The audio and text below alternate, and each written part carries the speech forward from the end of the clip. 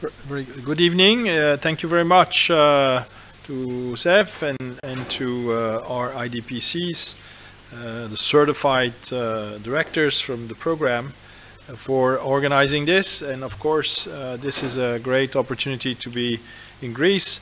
I will say also that Greece has been very meaningful for us because also with the IDPCs, with the students, with Cleopatra, uh, we actually also uh, did some counseling for some Greek banks with Peter Nathaniel, who's here.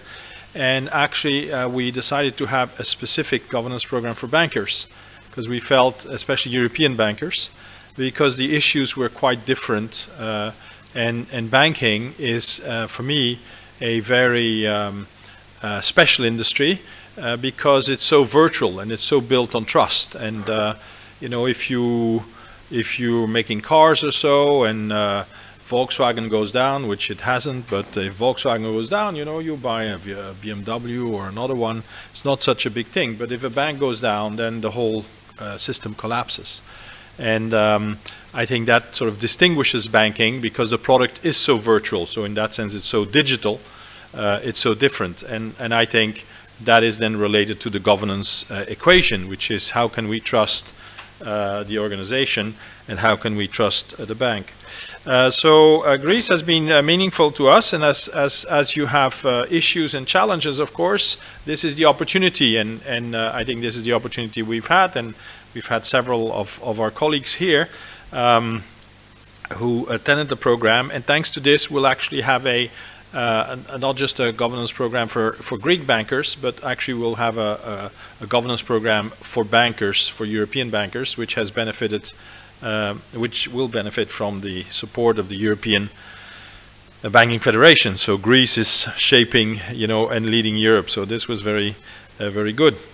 Um, we also felt as INSEAD that uh, we needed to do something about Greece, that you know, we hated the, the Greece uh, uh, bashing, uh, and this is the labeling, you know. And of course, I come from uh, Belgium, where there's always labeling. You know, I'm a bilingual Flemish guy, and the Flemish keep uh, bashing the Walloons, and the Walloons keep bashing uh, the Flemish. And as they bash, you know, the country disappears in oblivion, and Brussels becomes the most toxic word uh, in Belgium, and not just in Europe. So um, bashing is not nice, and labeling is not nice, and it's sort of a cynical reaction when you can't do too much. So thank you very much in that sense uh, for the, the opportunity.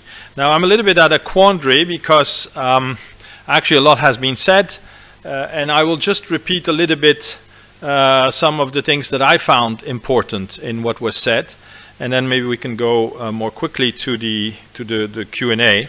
And the first thing is uh, from Mr. Fessas is I think values are paramount. So if there is one criteria, uh, I think I will say there are four, but the most important criteria is, you know, to have uh, good people. Good people meaning people with integrity. Uh, I'm on a board uh, where uh, we're not so clear on one. And uh, of course, one rotten apple destroys the whole process and the whole dynamic.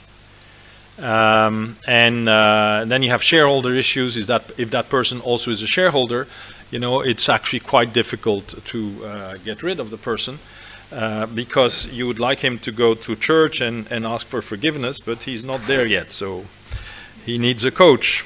Uh, so values, I cannot emphasize, I think, values enough. And I think there should be a value check, I would say. And the most important that the uh, that the supervisors can do is actually not look at you know the CVs, uh, but actually you know the values of the people. Which is if there is uh, an issue with a person, I would say change the director, and that would be the issue. Which is uh, I even feel, and this is I think one of the issues, if you have a choice between a great CEO and a great director, uh, you know, then you choose for the CEO because it's much harder to find uh, a great CEO uh, than to find a good director. And a director is a, a, team player, whereas a CEO is a game of one. And I think certainly um, one of the things I've learned over time, um, and that's sort of been good being a management teacher, is the leverage of the CEO, the leverage of the general manager. I mean, it makes such a difference to have a great general manager uh, and it, it creates so much hassle when you have uh, an average or actually a, a bad general manager. So a board shouldn't do anything that takes energies away from the general manager and of course from the management in general. Uh, but I think sort of having a healthy relationship between the general managers and understanding that the board is there for the organization, but that actually means for the general manager is paramount. When you start having ego games, uh, it is very destructive because now you know you have an ego between uh, the CEO and and uh, and one of the directors who might have been the former CEO. Uh, I, at that point, you sort of somebody should step in and say, you know, we don't want to have that kind of ping pong. It's very very toxic, and actually you hear it in the in the comments, so it's not too hard to uh, to stop. But I would say values is probably what is the most important. Uh, and I would say among values, I would say generosity as well, which is you're not there for you, you're there for others, you know, and that I think, uh, you can call it altruism or uh, it's not just altruism, people must have fun and meaning, but I think you must have a degree of generosity and not saying, well, I'm going to work another hour, therefore, you know, you need to pay me another hour. And in, in that sense, money should be, I think, um, uh, Plutarchos said it very well, money should be off the table. You know, for a year, this is the rule. We pay you for so many days, and then we, we might rediscuss money at the end of the year, but we're not going to go into a taximeter discussion, which is I didn't have time to prepare because I'm only, only paid one day of preparation, you know, per uh, meeting, and therefore I can't prepare. So I would say values is paramount. I would say people talk about competence, and I think this is absolutely true, and I think that's what we try to do, which is governance competence. Uh, not necessarily business competence. I would say you need business talent and governance competence. So I think business talent first, in the sense of understanding business, but talent is, you know, is, is something different. You know, you have it or you don't have it. At INSEAD, we don't teach talent, you know, which is we take talented people and then we hope we don't destroy the talent, uh, but we give them, we, we, uh, we, I was at Harvard, and sort of the, you know, the dean of the of, of the business school, you know, said uh, our great virtue is we select good people and we don't destroy them. You know, that was the uh, we don't reduce the value. So uh, that's actually a good, uh, not such a bad statement for boards. If the board is not value destroying, that's already not bad. Okay, so have low expectations for boards because it's a very complicated issue. And it's a long issue, right? I thought uh, from uh, Mr. Petropoulos, it, I think what was great is this Kaizen feature. We're building governance one part at a time. And I think fundamentally, it took us 18 years, but that is because the owners didn't change. Because if you have new owners, you tend to have a new governance system. And then you have to restart, you know and then mine is better than the old one, you know, and, and you're not sort of building Kaizen, Kaizen in terms of continuous improvement. So I think uh, this was wonderful to hear. Uh, this is, there is no best practice in governance. Okay, that's very important. So, you know, be, be very careful and say, you know, when the investors or, or say, you know, uh, you should apply best practice. And the answer is, uh, there isn't. You know, best practice in Japan, you bring it to Belgium, it's bad practice, you know. Japanese don't talk for 10 hours, and then they, after 10 hours, you know, and a bit of sake, they talk forever. You know, this is uh, works in Japan, but it doesn't necessarily work in uh, in um, in Belgium. In Belgium, we drink all the time, so uh, we don't really work. We don't wait 10 hours to drink. You know?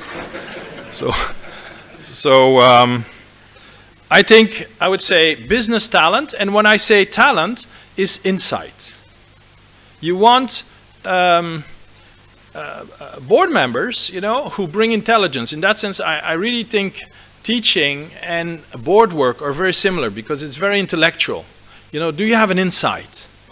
Uh, do you bring something to the board? And what you bring is a different look at the board. And of course, you need to be able to explain it a little bit. Because some people are very insightful, but very intuitive you know, and then they say it's obvious the CEO is wrong, you know, and they say, well, could you tell me? No, it's obvious, you know, and, and say, why? Well, I've known it for the last year, but nobody believes me. Well, part of the issue is maybe you could start explaining it a little bit, you know. Um, so I would say uh, talent is, is important. There is no governance document that refers to talent. It's all about competences. You know? Now you do need governance competences, but talent gives the edge, you know, gives the difference. And, and talent is basically you see things that other people don't see. You see problems, you see solutions, you see opportunities. I think uh, talent is the is the um, the uh, the certainly the second one, and then I think you need to learn governance competence. And the key rule in governance competence is governance is not execution. And I think you should understand the difference. And I actually think there is no clear line, but every board should have a line where people start saying, you know, you're now stepping into execution, which is you're taking over from the executives. And this is, I think, where it's very useful that the board members themselves sort of say, like, you know, uh, we're now doing executives' work. So if, if, if we're doing their work, then I think this is dangerous because the more we do their work, the less they will do their work and the less they'll improve, you know, and and um, and so we we're crossing the line. So there should be a line, and I think the best example of of um, a governance is Warren Buffett. I think it was when Salomon Brothers was in trouble. Uh, he had put so much money into Salomon Brothers that they asked him to be a chairman he did it for five years. The Salomon Brothers was excluded from the auctions of the U.S. Treasury, which was their main business.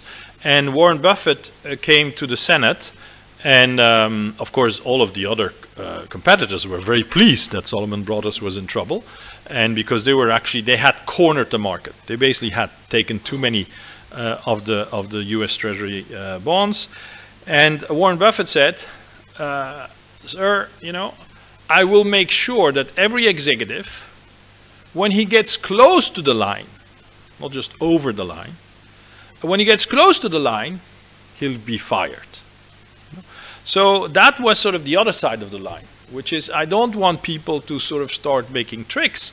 And on that basis, actually, um, Salomon Brothers, uh, you know, could continue this business. You know, eventually it was sort of bought over as well.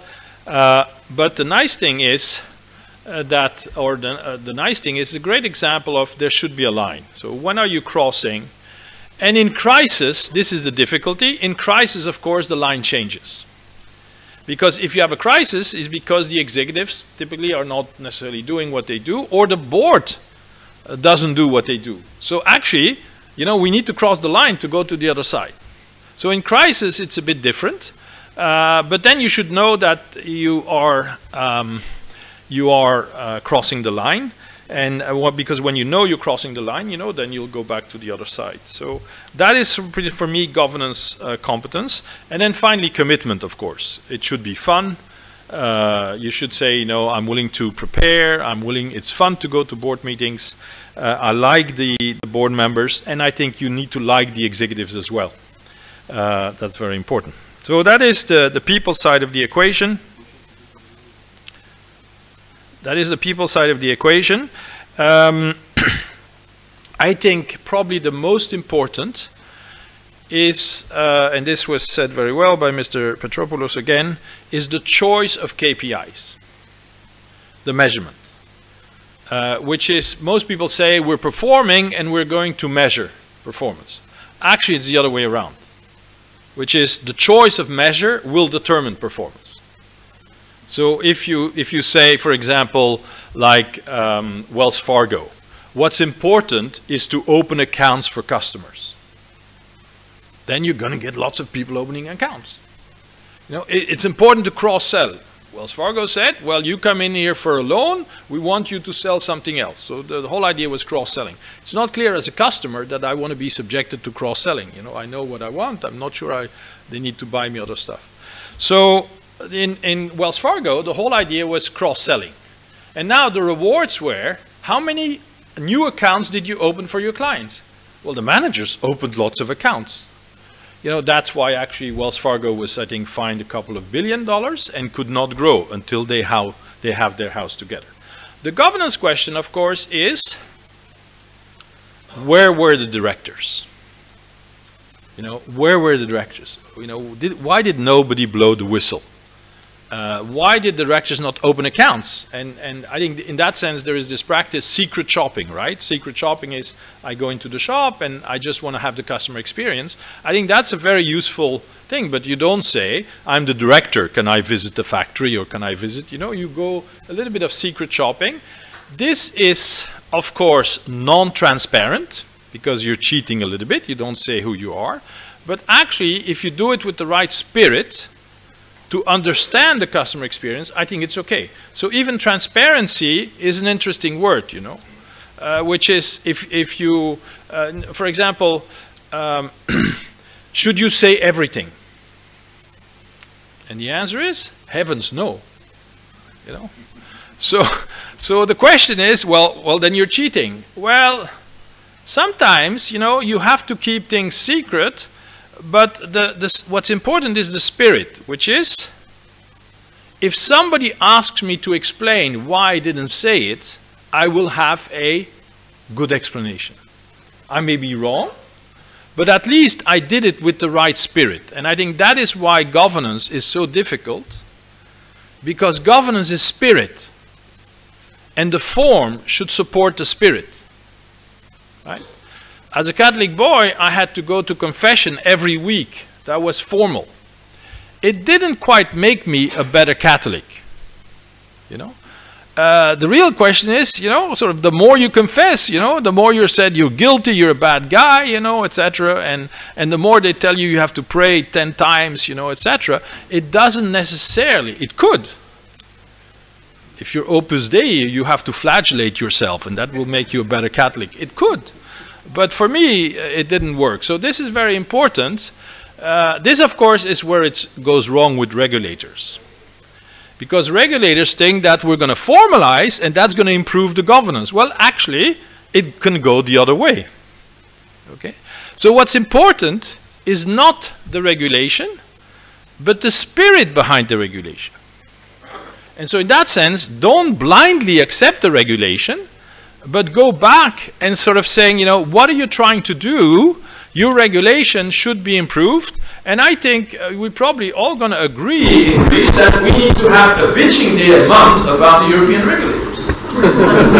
Just to help them understand. You know, that would help a lot. I think that would be fair play. And I think that's uh, very, very, uh, very important. Um, so I think this is where I, I answered to the notion of how do you build a good governance system? And I would say one step at a time. And that is what I liked so much in Mr. Petropoulos' uh, example is it's a journey. And the journey never ends.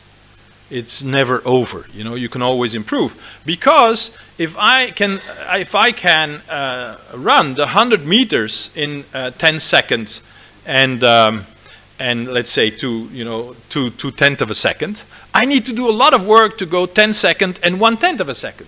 So as you're getting better, it actually takes more effort. But it will give you better performance and more sustainability. But it will require more effort. You know, at some point, uh, you know, you have to to to uh, balance things out. I think the world is changing. So you know, people when they optimize they optimize for the past world but not necessarily for the, the new world. So in that sense i would say forget optimization. All my career in was applied mathematics was optimization. You know and i was an applied mathematician and we always said why don't they use our algorithms? And the real answer is because it makes people obsolete and optimization is not important. Governance is first avoiding the bad mistakes and trying to catch more fruit or catch more fish. It's not about optimization, because optimization is static. It's best practice. That is not the spirit of governance. It's actually about, about uh, improving. Um, I think uh, I very much like what Plutarchos said, which is uh, the value to young firms. Uh, I, I, you know, my entry into governance, I had uh, several entries into governance. The first is, of course, my family firm in Belgium, which I now realize uh, failed, disappeared because of bad governance. I said it's because of my uncle. But actually, my uncle probably did um, what he could but there was no supervisor. He was known as the Lion of Flanders. So we, when he came, he was the son of the founder, and then, you know, people would say, do you hear him? He's coming, because he was already yelling at the door for the receptionist not doing what they did. You know? And so when he came, people were ducking.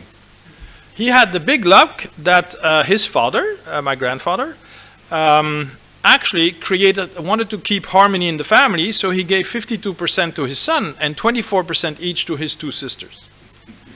That did not create harmony. Okay, but that of course influenced the governance system. Now, if you had non-executive directors, they could start helping. So the best thing they could have done is each one appoints a non-executive director, maybe, you know, uh, their representative, their nominee, and then these three people see what's good about Ludo, not me, you know, but Big Ludo, which is my uncle. So um, the smaller you are, the more you need a board because you're alone. And through the board, you'll actually get credibility and you'll get insight. Now, this is where small startups are very different than big startups.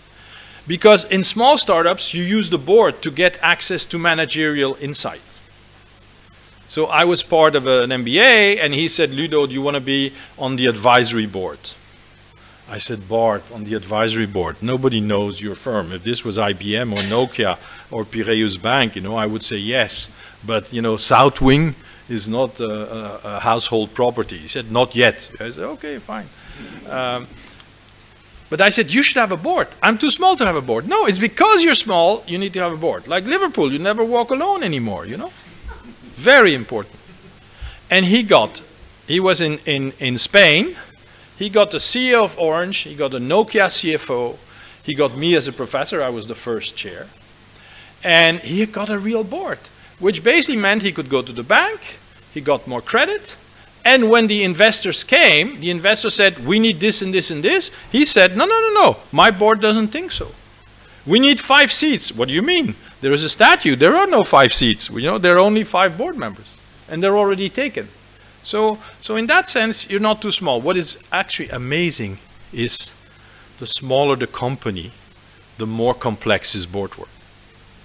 And because, you know, it's, it's, it, you, you have no report, by the way, you don't even have meetings. CEO is out because the client asked, you know, so you barely have meetings. So actually, uh, this is the, the, the story is that even small companies uh, need a, a board, and in that sense, uh, there's actually more value added to a young firm or a startup firm because there's nothing else. If you are in a big firm, there's there the executives, there the reports, so the, the, the value add is going to be more difficult. Now let me talk a little bit with Enigmas about Enigmas. It's the UK. There's everybody agrees, you know, the UK are the, the best country in Europe to talk about governance. It's very insightful.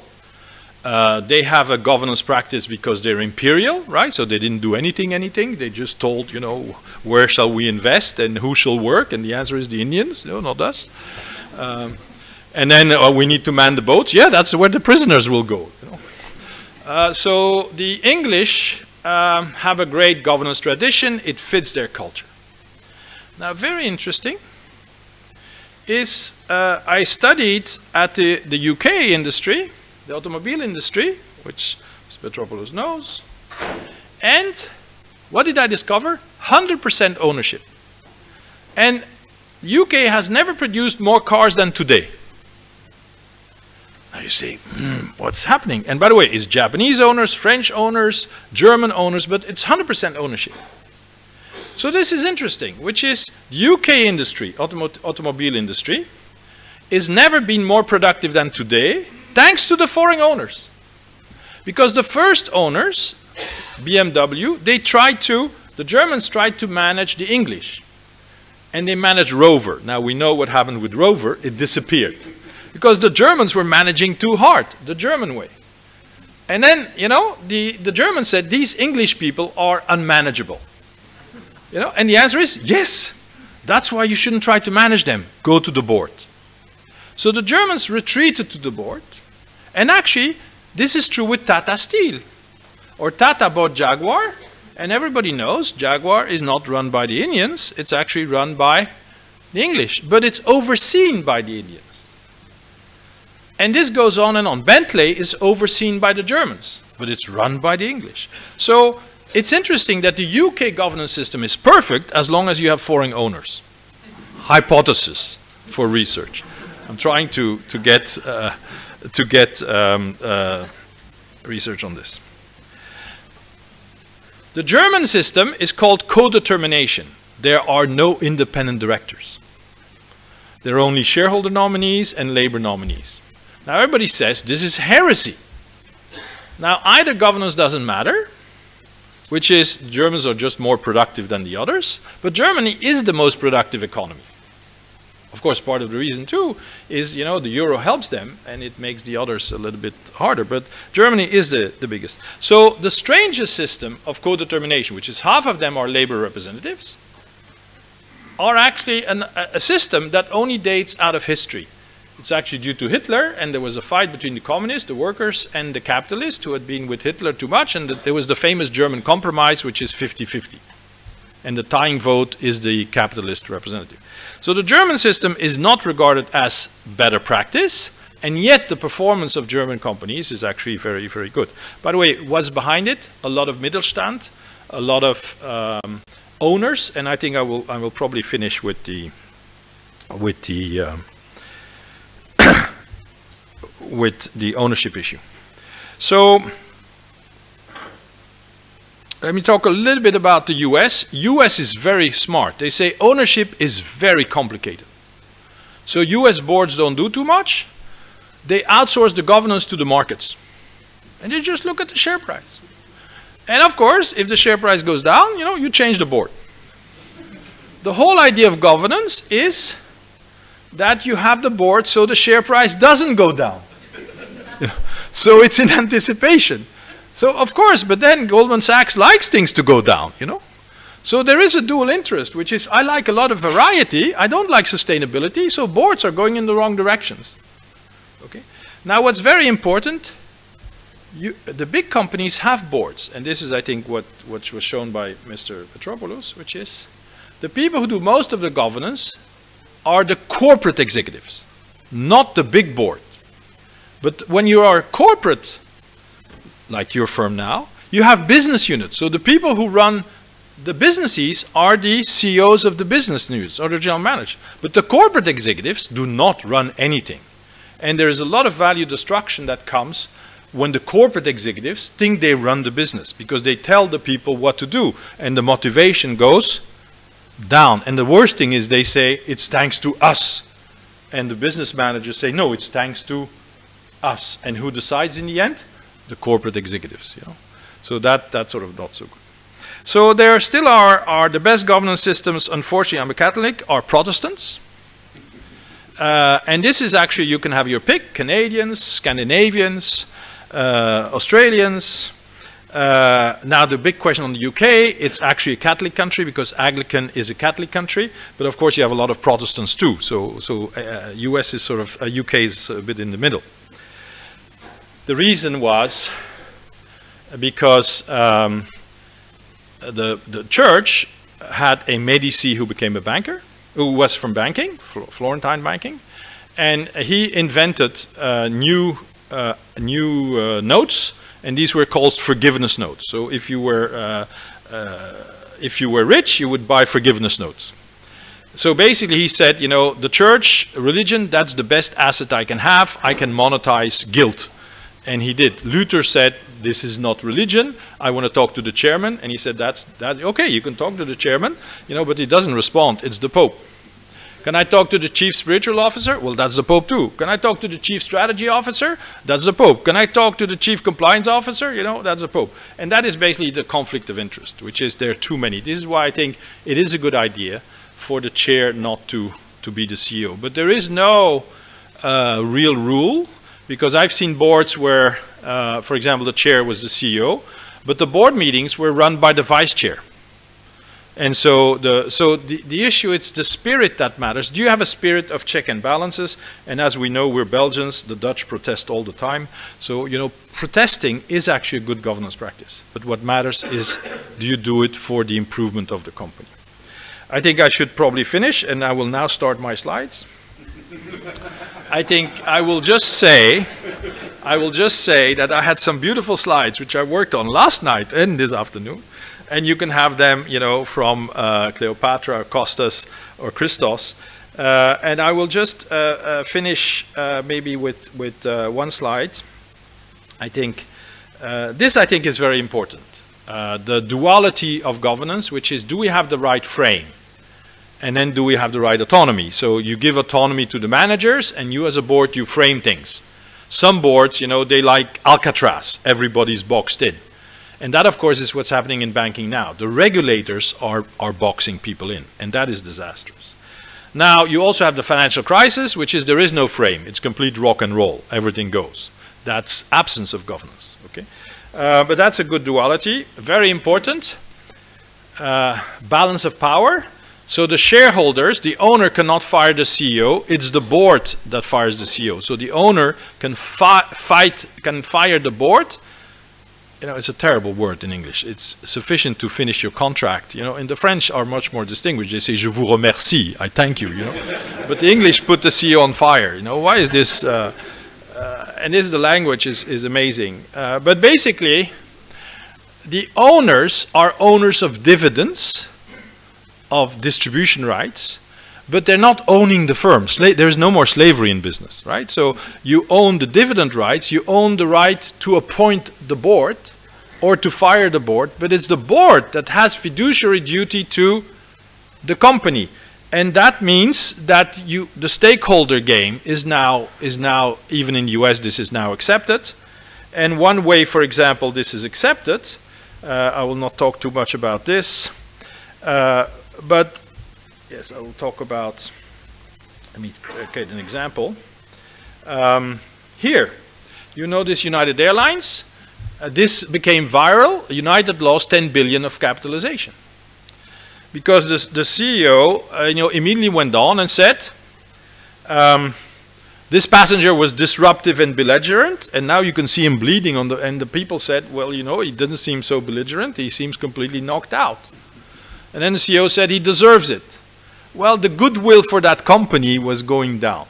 By the way, every 10 years, uh, United Airlines has a problem with last 10 years, they broke somebody's guitar and he made the song. Um, the best thing, of course, this is a disaster, which is Volkswagen. This is owner-led destruction. Mr. P had a mission and he said, I will make Volkswagen as big as Toyota. That means we need to be number one in the US. Uh, we have the cleanest diesel, and uh, therefore, he said, you know, we'll conquer the USA. Now, the problem, of course, we now know is they didn't have the right technology to sell clean diesel because California is very tough. And of course, there is no problem a German engineer cannot solve. So he did solve the problem. The problem is the administrators in the California trying to advertise clean diesel with Volkswagen said, it's not clean. There's something wrong with our equipment because it's dirty. So they changed the equipment, then they changed the car, and they were all dirty. They said there's something wrong with Volkswagen. Worst reaction two years later, the CEO says, I did not know. You know, which is nobody told me. This is a bit surprising. Probably he's talking to a New York lawyer or something like that. Uh, just deny. Best, I think, is Uber. Uber CEO was disrupted um, and uh, the main reason was that uh, he had a video and that he was trapped on video. This was not, this was tricky. Uh, he was tricked. And, uh, you know, the, the driver says, I'm, his taxi driver, he says, I'm, I'm bankrupt because of you. And the CEO says, what do you mean? You know, some people just don't like to take responsibility for their own shit. Now the problem is was taped. So this became viral. And then the women said, yeah, it's not just the taxi drivers that are harassed. We women are harassed too. And then you have the beautiful statement of the CEO, who then has to resign. Now, Uber is the ultimate disruptor, so you would not expect the CEO of Uber to be disrupted by digital media. Um, and it was amazing. He said, There's one thing I learned, which is people matter. Where was the board? You know? um, this, I think, we talked, which is actually uh, board work is more on the negative side, on the downside, than on the positive side. Uh, I think it's more avoiding too much risk. It's actually, in Belgium, we always say, you know, in a board meeting, the CEO is not that bad, could get worse. No, no, if the CEO is not that bad, it's time to change because there's no downside with the change. So you need to be very demanding uh, with the CEO.